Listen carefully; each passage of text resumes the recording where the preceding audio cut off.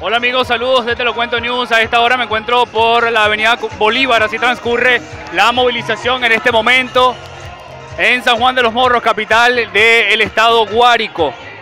Este es el ambiente que se vive a esta hora cuando vamos rumbo hacia la Plaza de los Amanes. En este momento vamos a entrevistar a algunas personas que han decidido venir a esta movilización. Hola, ¿por qué decidiste venir hoy a esta movilización? Por la libertad de Venezuela. Dime tu nombre y tu apellido. Yo, Meli Manzano. ¿Tú estás de acuerdo con movilizarte en la calle, con mantenerse en la calle? Claro, para que el pueblo se mantenga despierto y pueda salir de Maduro. Tú, amigo, tu nombre y tu apellido, ¿por qué decidiste venir el día de hoy? Bueno, yo soy Johnny Morillo y decidí salir hoy para formar parte de la manifestación organizada convocada por el presidente interino Juan Baidó, el único presidente de Venezuela hoy en mando.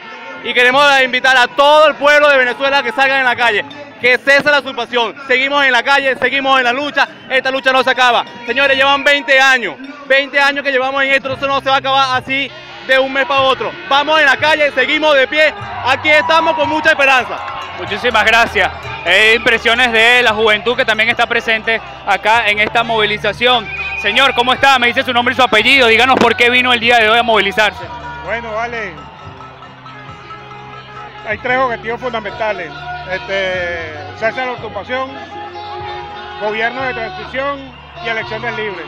Esa es la meta. Muchísimas gracias. Son parte de las impresiones de algunas personas que han decidido movilizarse el día de hoy en San Juan de los Morros, capital del estado Guárico. Nosotros vamos a seguir tomando impresiones de algunos manifestantes que han decidido pronunciarse desde las calles el día de hoy acá en la capital guariqueña.